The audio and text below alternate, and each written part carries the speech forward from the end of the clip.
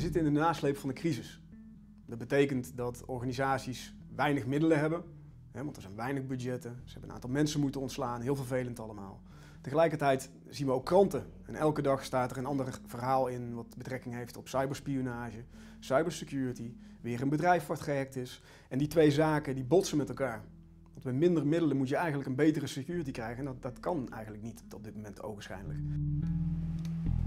Morgen, welkom. Fijn. Zoveel is een totaalaanbieder op het gebied van IT security. Complete security, made simple wordt ook wel gezegd. Voor organisaties is het erg belangrijk om te kiezen voor een partij die heel veel ervaring heeft op dit vlak, zodat ze compleet ontzorgd zijn en niet hoeven te denken aan IT security. Ja, dankjewel. Wetgeving gaat een hele hoop veranderen het komend jaar.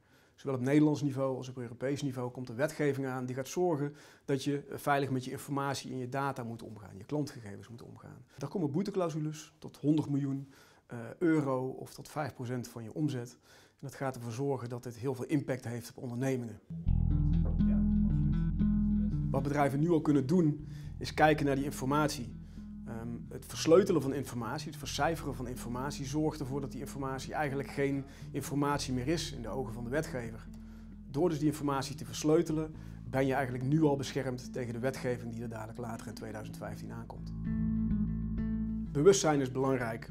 Zorg ervoor dat binnen ondernemingen men op de hoogte is van de risico's die hierbij spelen. Zonder dat die risico's bekend zijn kun je het probleem niet oplossen.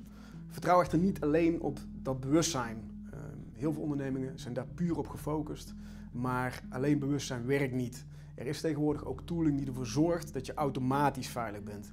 De combinatie van zowel bewustzijn als die tooling gaat ervoor zorgen dat je een stuk veiliger bent, dat deze risico's compleet uitgebannen zijn. Veel plezier in 2015.